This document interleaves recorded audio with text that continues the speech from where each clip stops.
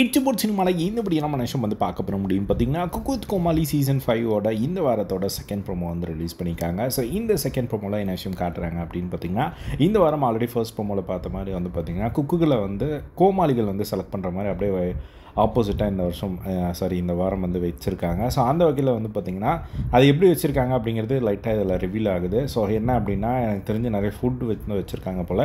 So அந்த ஃபுட்டை வந்து நம்ம செலக்ட் பண்ணணும். ஸோ அந்த ஃபுட் வந்து யாரோட ஃபேவரட்டாக இருக்கும் அப்படிங்கிறத நினச்சி நம்ம வந்து அந்த ஃபுட்டை வந்து பிக் பண்ணணும். அந்த வகையில் குரேஷி வந்து பார்த்திங்கன்னா ஒரு ஃபுட்டை வந்து பிக் பண்ணுறாரு மஷ்ரூம் பிரியாணி ஸோ அதை பிக் பண்ண உடனே எடுத்துகிட்டு வாங்க அந்த மஷ்ரூம் பிரியாணி யார் ஃபேவரட்டாக இருக்கும்னு நீங்கள் நினச்சி எடுத்தீங்க அவங்க வராங்களான்னு பார்க்கலாம் அப்படிங்கிற மாதிரி சொல்கிறாங்க உடனே உள்ளே வந்து பார்த்திங்கன்னா நம்ம பிரியங்கா வந்து விடிவி ஜெஸி மாதிரி வந்து ஒரு என்ட்ரியை வந்து கொடுக்குறாங்க.